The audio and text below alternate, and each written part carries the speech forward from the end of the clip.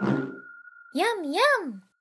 Floyd here with a quick look at basic asset creation and Plasticity. Let's build this simple part. Start by creating two circle curves. Use the Bridge Curves tool to create a new curve that connects the circles, and disable the Trim attribute.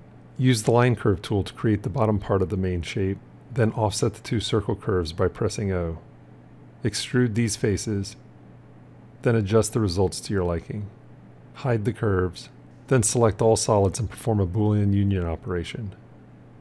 Create a new line curve along the bottom. Press Shift I for imprint curve, then select the solid as the target. Offset this face, create a new rectangle curve and use it to cut the solid, then remove the new solid in the rectangle curve.